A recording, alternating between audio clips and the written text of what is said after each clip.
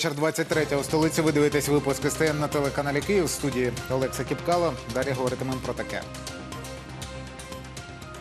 Окрім гарячої води, кияни можуть лишити ще й без опалення та світла. Нафтогаз відмовляється підписувати угоду з містом. Київрада готова до радикальних кроків.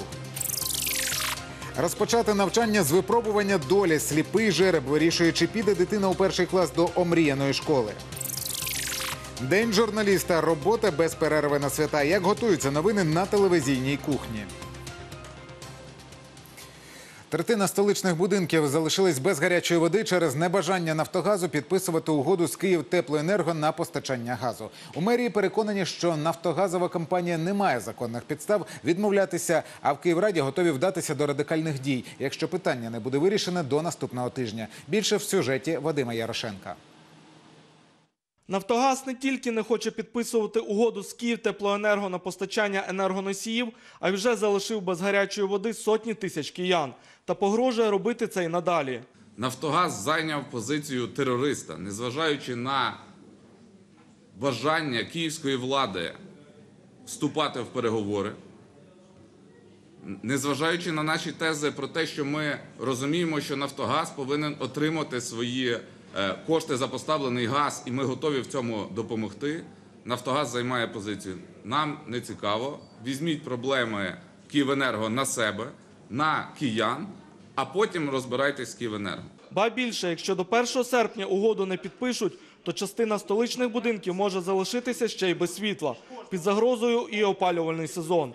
У мерії кажуть, Нафтогаз не має законного права не укладати договір з Київтеплоенерго. Без е, переходу боргу на нове підприємство НАК вважає, що він е, не може заключати договір на газопостачання нового підприємства. Ми переконані, що ці два питання абсолютно не поєднані і е, уважно проаналізували діюче законодавство.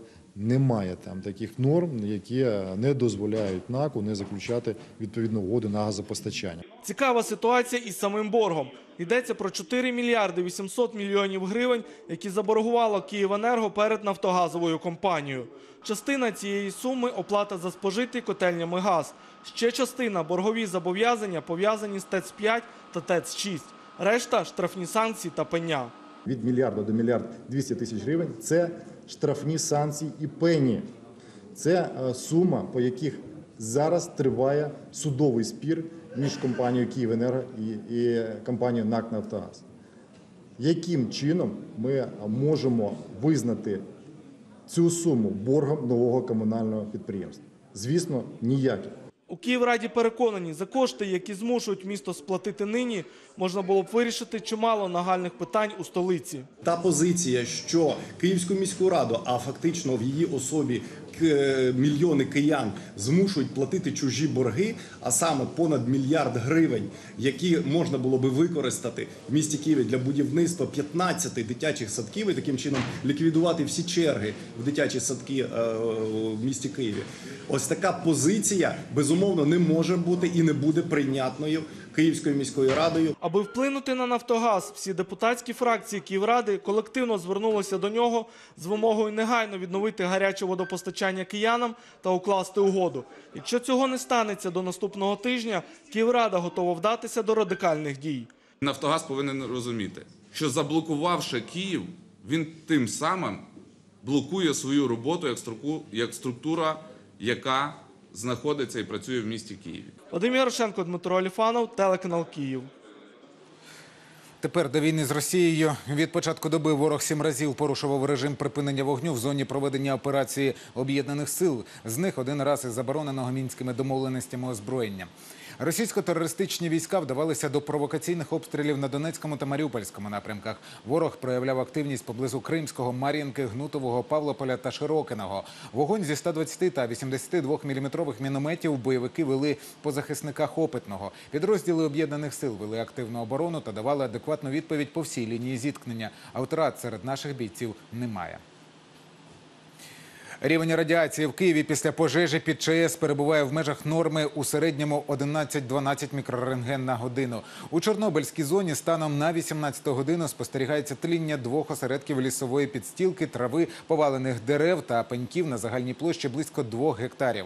Про це повідомили у Державній службі з надзвичайних ситуацій України. До гасіння пожежі залучили 150 рятувальників та 35 одиниць техніки. Попри запевнення надзвичайників у соціальних мережах ширяться панічні настрої про підвищений рівень радіації у Києві. Тому наші журналісти з дозиметром в руках вирішили самостійно перевірити радіаційний фон у різних куточках міста і ось отримали такі результати.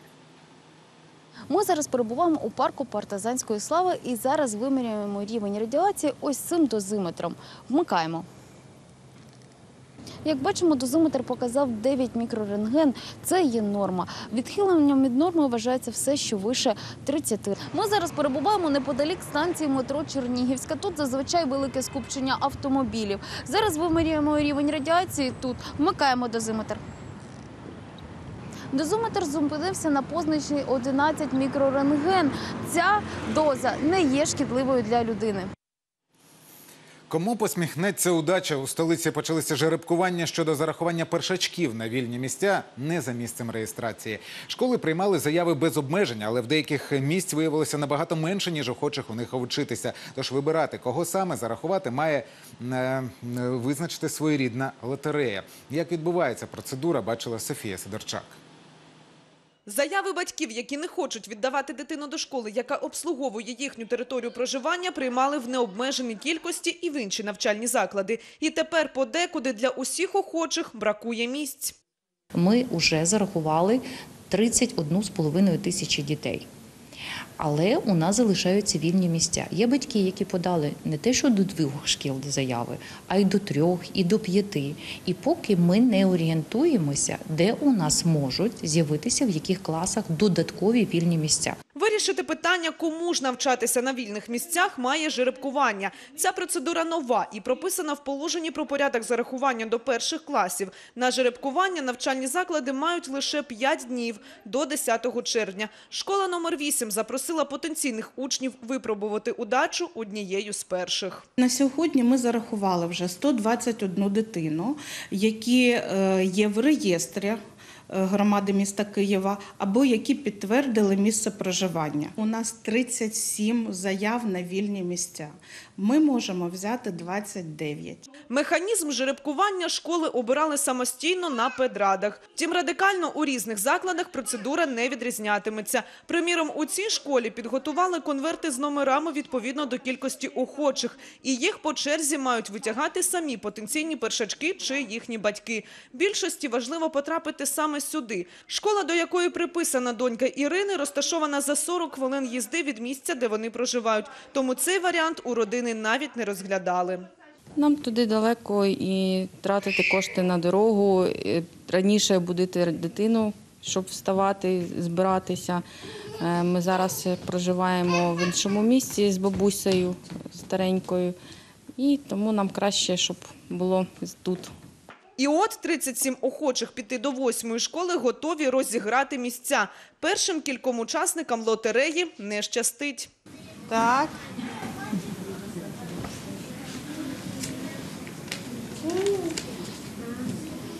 Тридцять сім.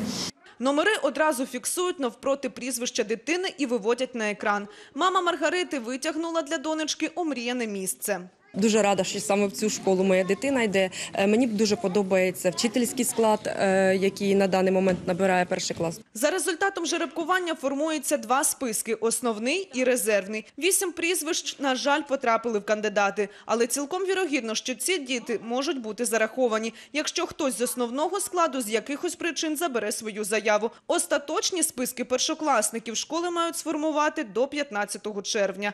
Софія Сидорчак, Микита Морозов, телеканал Київ. Парк партизанської слави отримав друге життя. Вже за тиждень там завершать першу чергу капітального ремонту. Оновлену зелену зону відпочинку відвідала знімальна група СТН. Робота у парку партизанської слави вирує. Комунальники вже вийшли на фінішну пряму. За тиждень оновлена зелена зона прийматиме містян. Це один з найбільших парків в Києві, близько 100 гектарів території. І наша мета зробити тут е, новий парк з новими стандартами, з новими підходами, з, е, з його виглядом на сьогоднішній день. Той, який тут є, його треба практично докорінно поміняти. Мається на увазі не, пересаджувати дерева, мається на увазі зробити благоустрій, зробити ландшафтні роботи по парку для того, щоб мешканцям тут було достатньо комфортно. Тут вимостили більше 10 тисяч квадратних метрів фемдоріжок, влаштували 5 гектарів газонів, встановили нові лави та смітники, а ще енергоощадне освітлення. Та й це не все. проводяться роботи по благоустрою першого озера. Там влаштовано оглядовий майданчик площею 250 квадратних метрів. Проводиться заміна паркових лав на більш е, такі, які будуть вміщувати більшу кількість е, відпочиваючих. Е, Поруч з ними будуть знаходитися в єдиному стилі квітникові композиції.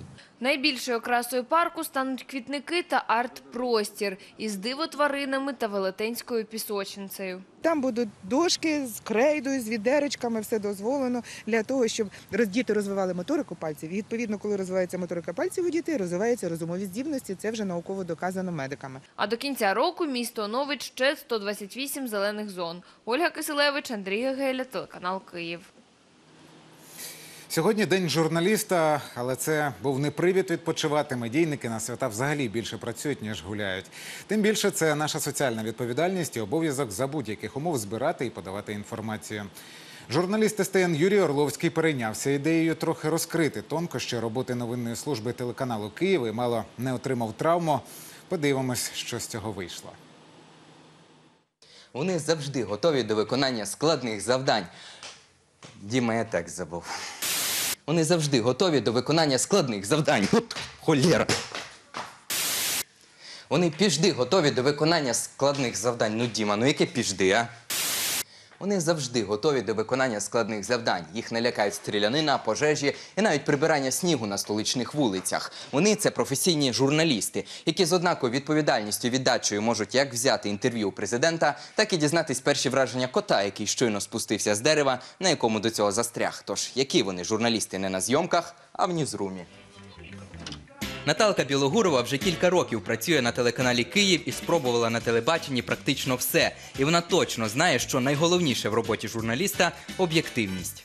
Наталка, привіт. От змоделюємо ситуацію. Побилися дві баби за межу між городами: баба Палашка і баба Текля. І просять тебе висвітлити цю проблему, бо дуже вже сильно побилися, дуже конфлікт серйозний. І баба Текля пропонує тобі 5 гектарів землі в Крижополі за допомогу. Які твої дії будуть?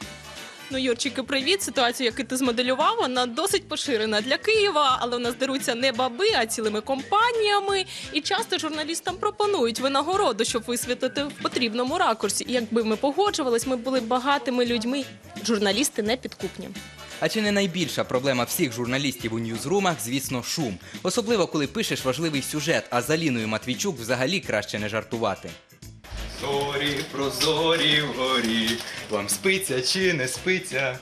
Попри стереотип, що журналістська робота не бий лежачого, професія ця доволі стресова і потребує періодичної психологічної розрядки.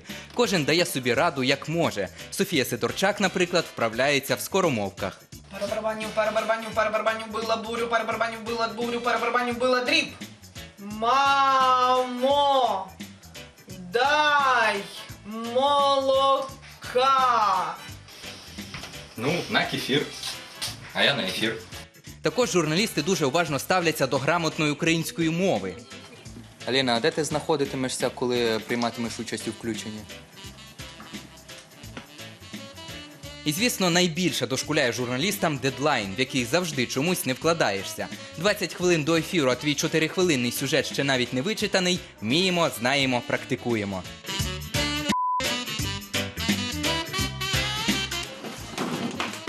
До слова, в будь-якій ситуації колеги-медійники завжди простягнуть руку допомоги, хай як заклопотані.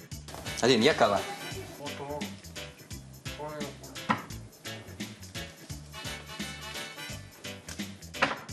Хто багато працює, вміє і розслаблятися. Як закінчити продуктивний день на телеканалі Київ, мені підказала Оксана Лущик.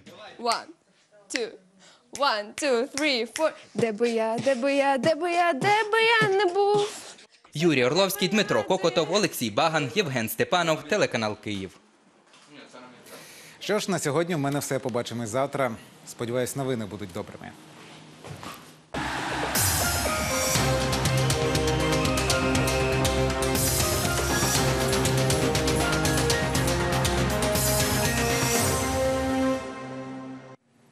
Вітаю вас, шановні друзі. Е, Сьогодні комітет Верховної Ради з питань свободи слова і інформаційної політики підтримав проект про заборону українським телеканалам транслювати чемпіонат світу з футболу 2018 року. Для введення заборони потрібно, щоб депутати простою більшістю проголосували за це у сесійній залі. А без рішення комітету голосування проводити не можна. Нагадаємо, показувати матчі чемпіонату світу з футболу, що стартує 14 червня у Росії, планував один з телеканалів. Е, Представників е, Федерації футболу України на чемпіонаті світу, який незабаром стартує в Росії, не буде. А на конгресі ФІФА е, Федерація футболу України представлятиме співробітник нашого посольства. Про це повідомив президент Української Федерації Андрій Павелко сьогодні на зустрічі з журналістами.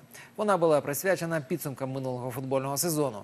Загалом очільник ФФУ е, вважає його вдалим, а найбільшими досягненнями назвав початок виробництва в Україні штучних футбольних полів, е, вдалу спецоперацію щодо виявлення організаторів договірних матчів, а передусім, звісно, проведення у Києві фіналу Ліги Чемпіонів 26 травня.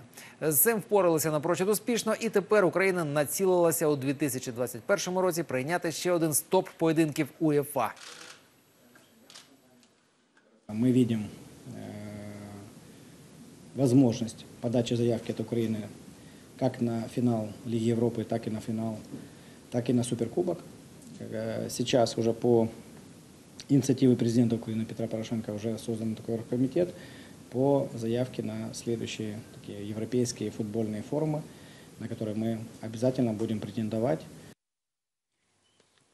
Помічник е, головного тренера збірної України Рауль Ріанчо припинив співпрацю зі збірною України. Про це повідомив наставник синьо-жовтих Андрій Шевченко. Сьогодні ж стало відомо, що Ріанчо підписав річний контракт з московським Спартаком. Іспанець буде асистентом головного тренера команди Масімо Каррери. Український баскетболіст е, Святослав Михайлюк е, пройшов перегляд у клубі NBA Лос-Анджелес Лейкерс. Легендарний клуб, у якому свого часу грав ще один українець е, Станіслав Медведенко, шукає нападника. Попри не найкращі антропометричні дані, Станіслав чудово підходить для цього. За словами оглядача видання, який був присутнім на перегляді, Михайлюк змушує суперників більше приділяти уваги захисту, ніж вони сподівалися. Тепер баскетболіст готується до драфту NBA, який відбудеться 22 червня. Він вже пройшов огляд у Юті, Фініксі, Чикаго і Вашингтоні. Усі сприймають мене як класичного снайпера, але на перегляді я довів, що маю і інші навички. У нас був дуже конкурентний спаринг. Виступи за Канзас допомогли мені підготуватися до NBA. Щодо моїх шансів на драфті, поки не можу нічого сказати. Я вмію кидати, я можу розігрувати. Що ж на цьому, все. Дякую вам за увагу. Хай щастить.